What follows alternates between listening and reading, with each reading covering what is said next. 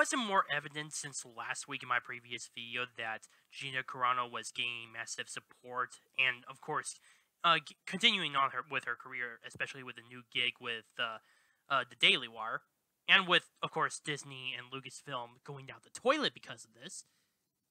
This week should should have made that more obvious because this week, uh, Kathleen Kennedy, who happens to be the president of Lucasfilm, still can't believe she's she is still that way. Although hopefully, uh, in in the next coming months, her contract will just be up, and then she will be out out of it. And hopefully, hopefully, someone better would come out in her place, either Jon Favreau or Dave Filoni. But continuing on, uh, she was supposed she was supposed to present the 2021 Scientific Scientific and Technical Awards, and she actually really she released a video on the Oscars YouTube YouTube channel which I will make sure you guys see in the description below. Already before I made this video, a lot of YouTubers were just diving deep in just the craziness of this video. What, why I mean this? It was so heavily ratioed. So many dislikes versus likes. I, I think it was about uh, 100 likes, while there was at least uh, when 1500 dislikes just on that video alone. Maybe a, maybe even a little bit more. But you can't but unfortunately I cannot confirm that because the Oscars decided to disable their like to dislike ratio as well as the comments.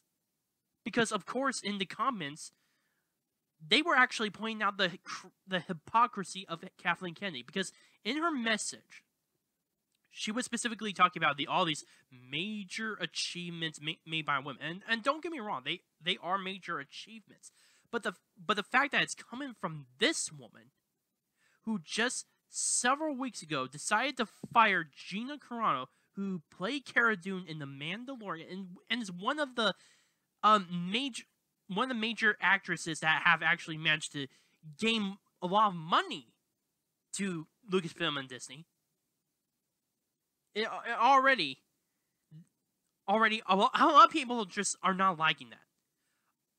They are seeing the hypocrisy, especially with the fact that, um, as I said before in my previous video, Pedro Pascal, who has said much worse things, much, much offensive, much more offensive things on Twitter to Gina Carano, and he's still in Lucasfilm. He's still employed he had a he had a tweet where he just basically compared Trump supporters to Nazis and Confederates, and it, and again, he's still still employed. There's so much wrong with Lucasfilm that it's just staggering. And all and all thankfully, a lot of people have a, a lot of people have actually continued on with this fight to get their voices heard. In several of the other videos eh, uh, that uh, have been released by the Oscars, they have continued to talk about this same thing. And they have been heavily downvoted. Honestly, I, I don't, I actually, I, I honestly don't believe that the Oscars, uh, this is off topic, I know, but I don't believe the Oscars have supposedly 1.9 million subscribers, while they are only gathering at most uh, a few thousand views. The the again the their highest current high, her, their highest recent video is the Kathleen Kennedy message. And again, it was heavily downvoted before they did, took down the ratio. Already, Disney and Lucasfilm should should have already gotten the message by now. And I'm I'm I'm I'm not surprised that and I wouldn't be surprised if behind the scenes, there's already so much chaos as a result. They obviously did not expect this major amount of backlash from Gina Carano, but they were wrong. They were 100% wrong. And already a lot of people have showed their receipts that they decided to cancel Disney Plus as a result. Because after all, why the hell would you want to support a company that hates you? It wouldn't it would not make any sense. That's whatsoever if you actually did do something like that.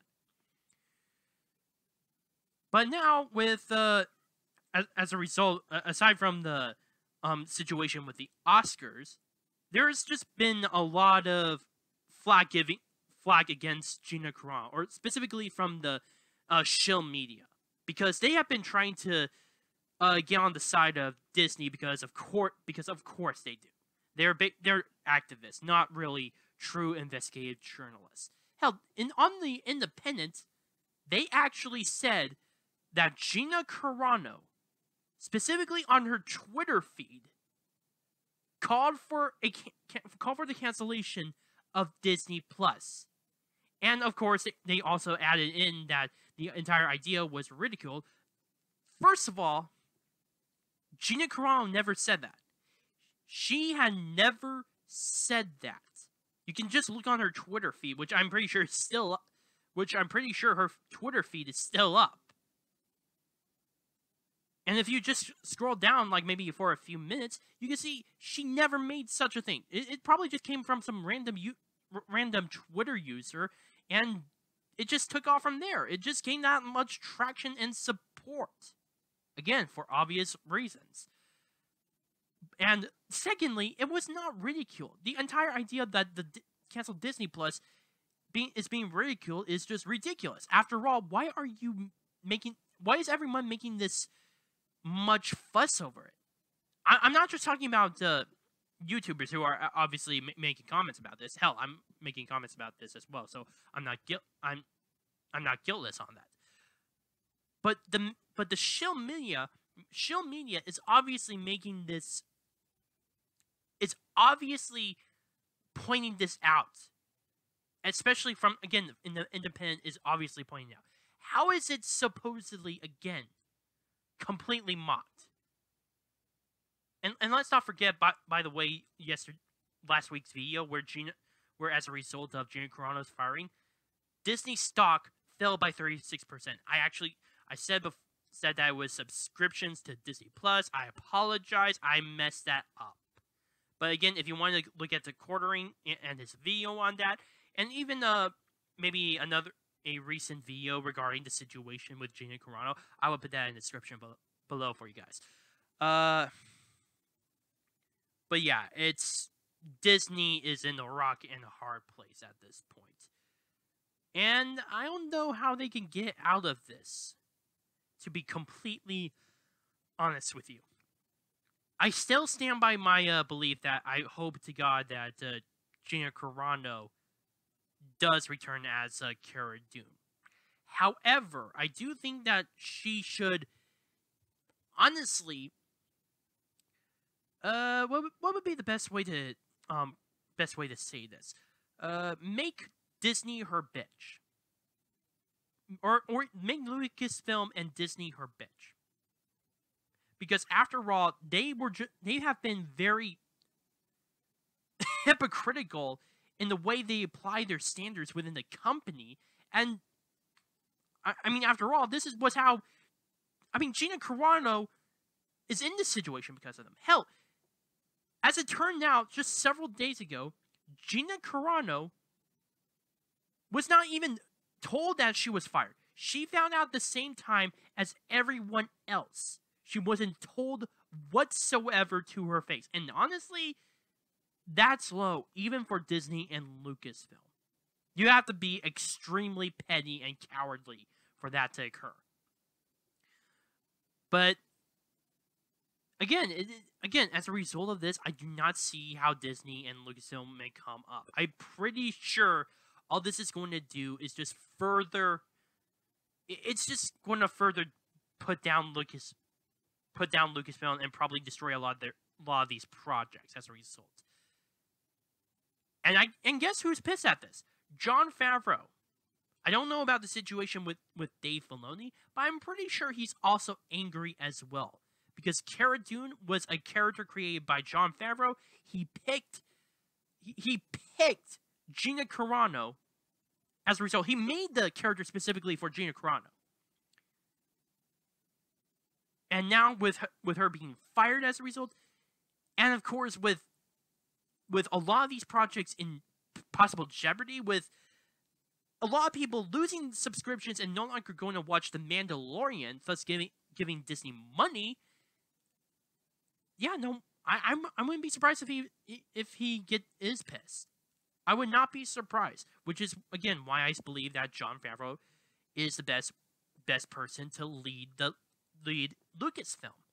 Not Kathleen Kennedy, certainly not certainly not uh uh Pedro Pascal. I, I know he's he's an actor, but still, I'm just trying to prove my prove my point. He is the visionary. He's the one who can lead Lucasfilm to greatness and Star Wars to greatness. I just don't see how the hell Disney has to figure that out yet. But there's also but there's more. Potentially. Because this upcoming Sunday, Gina Carano is going to be there, there's going to be a release of an interview with Ben Shapiro and interviewing sorry, interviewing Gina Carano. I'm just wondering what's going to what's going to contain in that uh, interview. It will definitely be interesting because in one of their clips, Gina Carano specifically said that she was not the only one who's being bullied by this company. I want to know how they're being how these people are being bullied and who they're being who they're being bullied. This is not going to be good PR whatsoever for again Disney or Lucasfilm.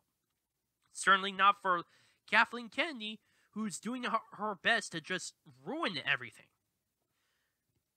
Hell, they, she hell she even officially, at least uh, from what I understand, fit confirmed that uh, Rian Johnson's trilogy is still being made. How is that even possible after four years?